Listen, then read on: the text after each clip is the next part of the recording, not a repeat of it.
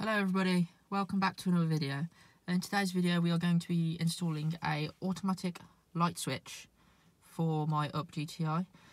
This is something you can option from the factory, however it does cost like 150 quid, so I'm just going to install this one I got off eBay. It cost me about 20 quid, and I'll show you how to install it right now. Alright, first things first, we need to remove the old one. So I've got some tools over here, I've got some trim removal tools and we're going to get to work on removing that now.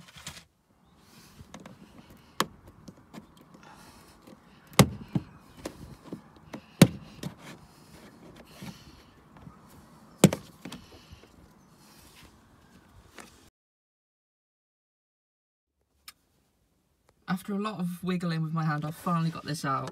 So what you want to try and do is you want to try and get your hand in from the side where it was here and then try and release these two um, clips that hold it in place. The top one's are easy enough to get to, but this bottom one's a bit of a nightmare.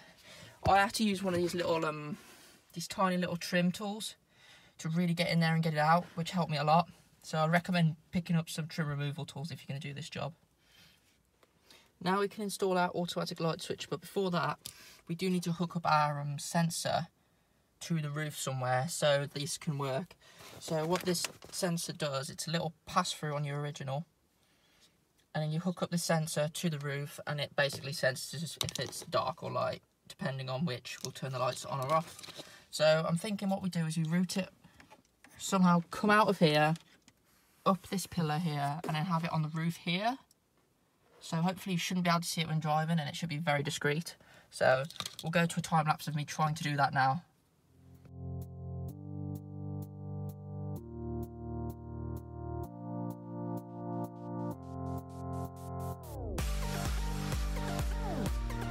Okay, I've just finished tucking away the cable behind this um, rubber seal here, so it goes all the way up here, across this bit here, and running under the roof lining.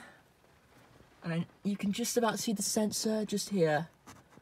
I haven't uh, stuck it on yet, but it's got some double-sided tape to stick it down to the roof.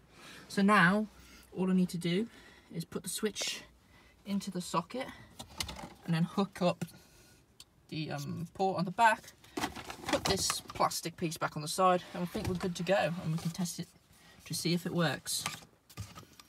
So this should just be as easy as just popping it back in, hopefully. And then those two clamps should clip in.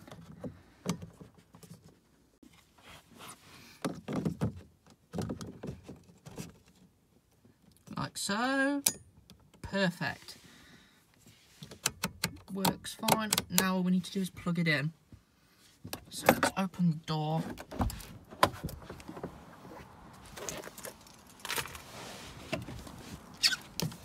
Here we go, here's the plug here. I've wired it up already, as you can see, into the sensor. And we just need to find the hole. Okay, the cable is now in place. Let's see if I can yeah, you can just about see that there eh, plugged in. Hopefully now we should have automatic lights. Okay, as you can see now, I have now started the engine up and the lights, the auto light has come on, which means it should be working. The only way to test this for sure is to wait for it to be night time. So we'll come back when it's dark and hopefully we will have lights.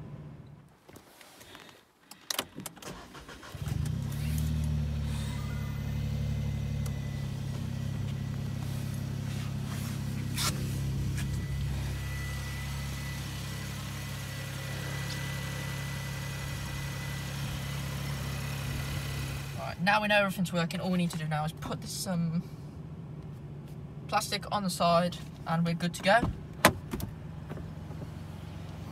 So, this, I've accidentally knocked that with my leg. So this plastic goes in front first and then just line up the clips and it should clip straight back into place. Like so, there we go, perfect.